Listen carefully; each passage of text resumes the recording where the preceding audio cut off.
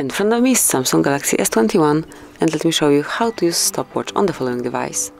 So at first you need to locate clock app, in my case it's uh, here on my home screen, so smoothly mark it. Now move to stopwatch and all you need to do is to tap on start. And as you can see meanwhile you can either lap it, so here we've got uh, lap times or you can stop it. Then you can either resume or reset. So let me reset it. If you'll tap on more icon, you can go to settings and here you can pick the uh, sound for your uh, alert and so on. So here you can uh, customize clock settings.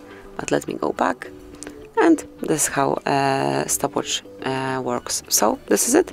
That will be all. Thank you for watching. Please subscribe our channel and leave the thumbs up.